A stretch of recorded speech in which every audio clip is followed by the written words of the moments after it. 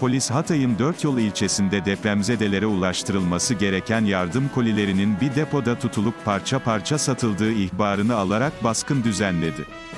Baskında el konulan yardım kolileri çadır kentteki depremzedelere ulaştırıldı. Ayrıca 4 şüphelinin yakalanması için çalışma başlatıldı.